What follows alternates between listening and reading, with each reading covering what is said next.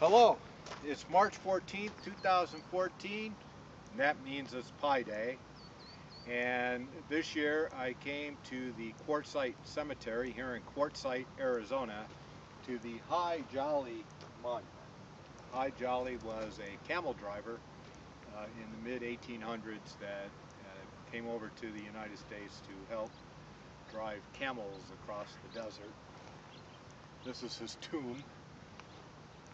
I knew that the Hi Jolly Monument was in the shape of a pyramid, so the idea I had was to come here, take some measurements, and uh, calculate the volume. Turns out the formula for calculating the volume of a pyramid does not include the use of pi. But if we pretend it's a cone, well then uh, we can do something with pi. So uh, anyway, I came here uh, and uh, forgot to bring a tape measure. So uh, luckily there was a hardware store here in Quartzsite and I got myself a tape measure and I took some measurements. It is a square base and the length of one side is 103 inches. I just kept thinking inches. And then the height was approximately 103 inches. And so if we type that information into the formula for calculating the volume pyramid, which is 1 divided by 3 times the base squared times the height, we come out with 364,242 square inches. That's the volume of this pyramid, approximately. If we pretend it's a cone, uh, where it has a circular base and the diameter of the circle is the same length as the side of the base, which means 103 inches, and it's a cone of the same height, 103 inches, well then I can convert the volume of the pyramid into the volume of the cone by taking the volume of the pyramid and dividing it by the quantity 8 divided by pi divided by 2. And I went, already went and did that calculation and it comes out if the Hi Jolly Monument was a similarly shaped cone, it would have a volume of approximately 286,075 square inches.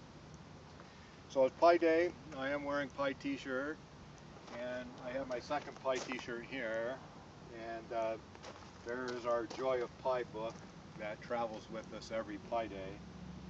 Uh, on my way into Quartzsite, I stopped at Darlene's uh, Sweet Bakery, I think was called. Got myself a slice of uh, pecan pie. So that's pecan pie. I'm going to eat that in just a minute here.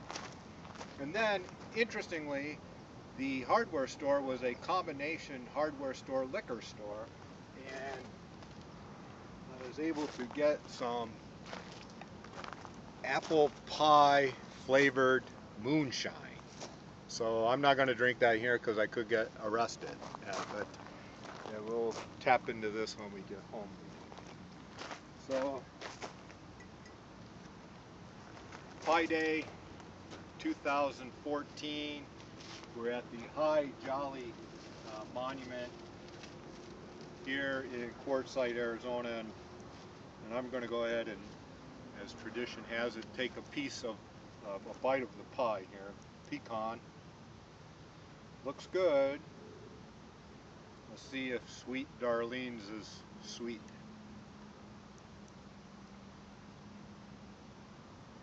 Hmm. That's pretty good pecan pie. So when you're in Quartzsite, I know where to get some good pie. Sweet Darlene's.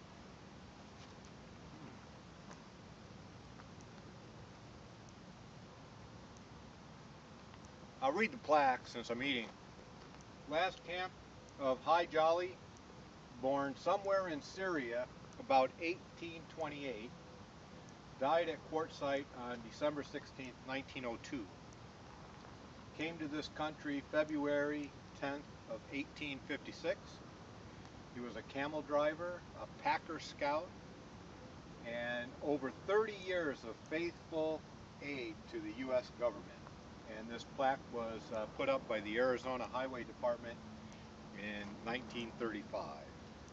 And this is darn good pecan pie.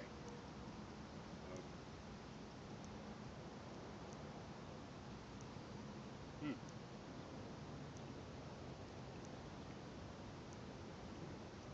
I might as well try to recite the digits of pi that I know. I can do this better when I'm writing it down, but I'm going to try. 3.1415926535 8979 3238 4626 4338 327950 and I have no idea if that's even close to being right. I got I got to write it down. Anyway, uh, that's it. It took me uh, 144 miles to get here. Now I'm going to drive home 144 miles. So, uh, Pi Day 2014 at the Hi Jolly Monument in Quartzsite, Arizona. I'm going to end this movie.